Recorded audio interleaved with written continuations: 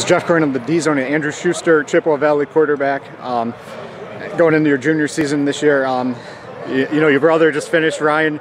Uh, you know what? What have you learned from him uh, heading into the season? Uh, I've learned a lot from him. I played JV this year, and then I was at all the varsity practices. So whenever we were doing scrimmages or anything, he helped me with all the coverages and how the offense basically works.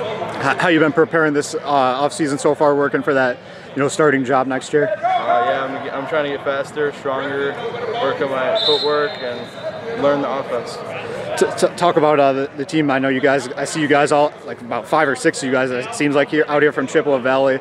Um, you know, working, getting better every week. Um, you know, let's talk about you know you guys as a team. Yeah, we're gonna be we're gonna be really strong this year. We're pretty tight and. Um, we got a lot of guys coming back and a lot of weapons on offense, so we should be scoring a high amount of points.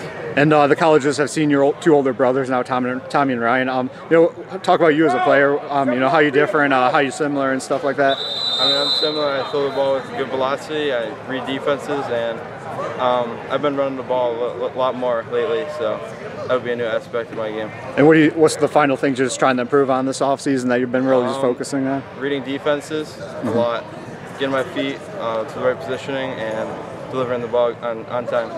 Andrew Schuster, thank you.